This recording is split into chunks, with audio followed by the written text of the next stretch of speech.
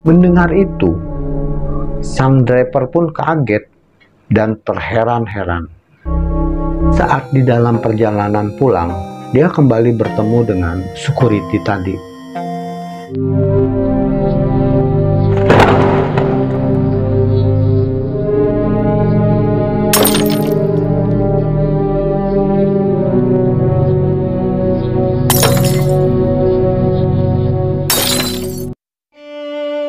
Jumpa lagi bersama Arman yang akan menceritakan kisah kejadian yang ada di sekitar kita.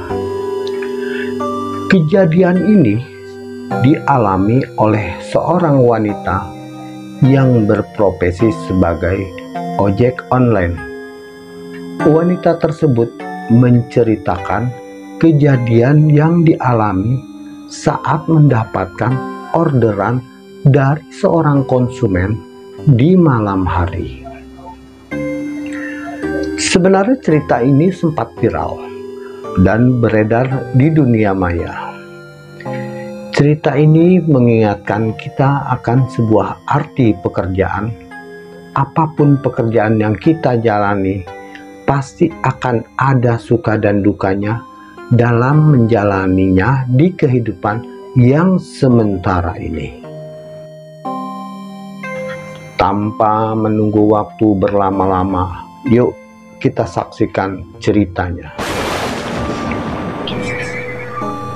Alhamdulillah, akhirnya masuk juga order makanan. Hari sudah malam. Dia mendapatkan orderan paket makanan dari seorang customer. Saat dia melihat orderan tersebut, terlihat sangat jelas alamat tujuan. Tidak ada yang aneh dalam pesanan orderan tersebut. Hal tersebut membuat dia yakin untuk menerima orderan dan tidak mengcancelnya. Sebenarnya wanita itu ragu untuk menerima orderan karena sudah larut malam Untungnya saja, teman seprofesinya itu menemani untuk mengantar paket tersebut ke tempat tujuan, yaitu berupa makanan. Berangkatlah mereka menuju di mana titik koordinat lokasi yang ditentukan, yaitu wilayah perumahan. Sesampainya di rumah tersebut, mereka bertemu dengan security dan berhenti untuk bertanya. Security itu bertanya, Mau mana mbak? Wanita itu pun menjawab, Mau antar paket pak ke alamat ini. Sambil membaca alamat dimaksud. Ya security bilang, Oh iya mbak, jadi mbak nanti lewat ke kiri terus ke kanan terus ke kiri lagi ke kanan lagi dan seterusnya. Lanjut cerita.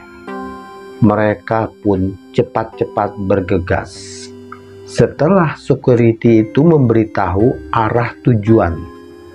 Jadi security itu tersebut memakai pakaian ya seragam hitam-hitam yang biasa dipakai oleh security dan jumlahnya itu ada sekitar 4 sampai 5 orang. Itu pun kata wanita ojek online tersebut. Sesampainya di tujuan, malah ada yang janggal karena rumah itu sepertinya kosong dan tidak berpenghuni lampu-lampunya juga sudah gelap gulita, tidak ada tanda-tanda kehidupan. Namun, tiba-tiba ada seorang nenek yang berada tak jauh dari driver ojek online tersebut.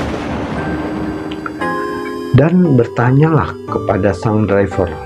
Jadi nenek-nenek itu bertanya, Mbak mencari siapa? Mau mengantar paket kata si nenek tersebut. Lalu wanita itu menjawab, Iya nek, saya mau mengantarkan paket. Nah, mau mau tahu nek, nama nenek itu siapa?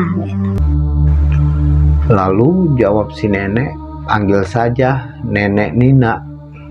Wanita ters- tersebut bertanya perihal rumah kosong tak berpenghuni itu.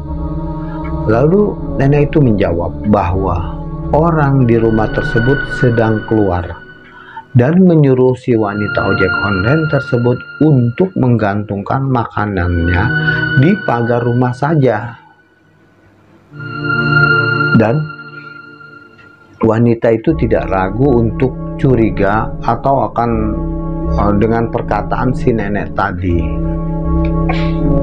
Singkat cerita, akhirnya pulanglah si wanita driver ojek online setelah meletakkan makanan di atas pagar.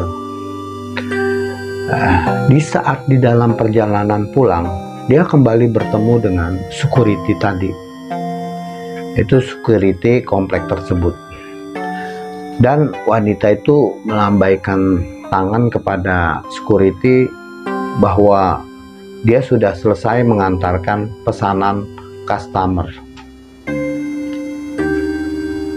tidak ada yang mengganjal di hati karena dia percaya dengan si nenek yang terlihat sangat baik dan jujur.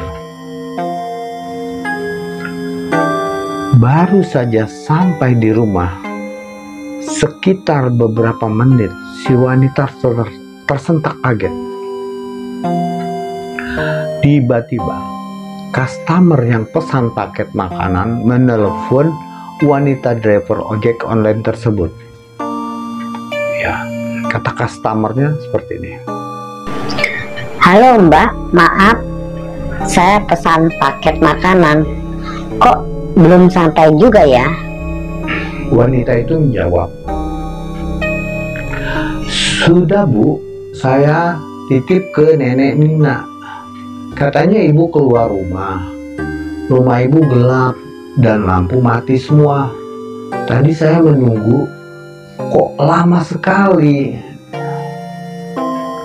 Kata nenek Nina. Saya bertemu dengan nenek Nina Katanya dia bilang gantungkan saja di pagar rumah ibu. Lalu customer itu mengatakan, Di sini tak ada orang yang bernama Nenek Nina.